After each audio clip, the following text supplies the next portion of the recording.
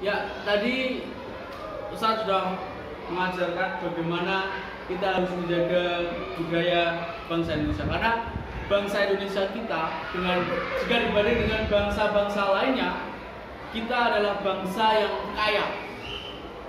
Bangsa yang kaya raya. Sumber daya alam kita juga sangat kaya raya sumber daya alam. Dan juga di samping itu bangsa Indonesia bangsa kita itu kita kaya akan pertama budaya suku bahasa adat adat istiadat pakaian agama dan semuanya banyak sekali. Kita harus bersyukur dengan itu. Dan yang terpenting kita harus bisa menjaga menjaganya.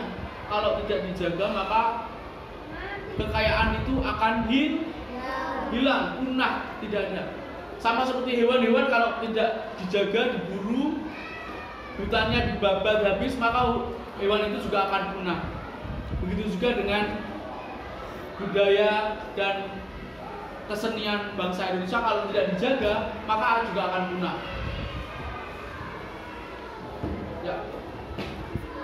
Nah ini upaya melestarikan tarian daerah.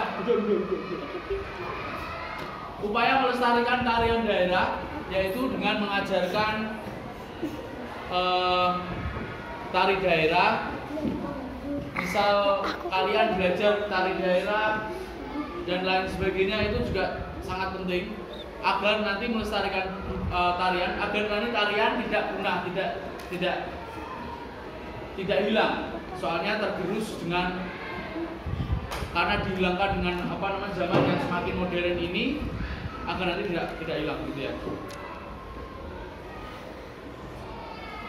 Dah.